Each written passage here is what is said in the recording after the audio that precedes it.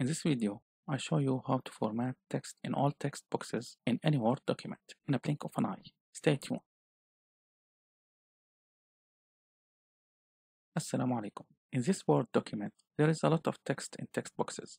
I want to format all this text to be green, bold, italic, and in Times New Roman font. I'll do this fast by hitting Ctrl H on the keyboard to call Find and Replace dialog box.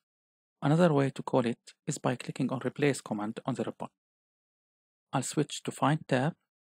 and Find What box, I'll type a caret followed by a question mark. Caret is Shift 6 on your keyboard. In Find in Drop List, I'll select text boxes in Main document. Word will select all the text in all text boxes in this document.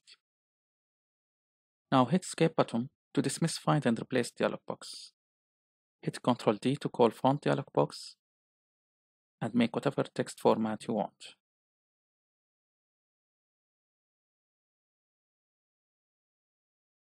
And it's done. All text boxes in this Word document are formatted and they all have the same appearance I wanted them to have seconds ago.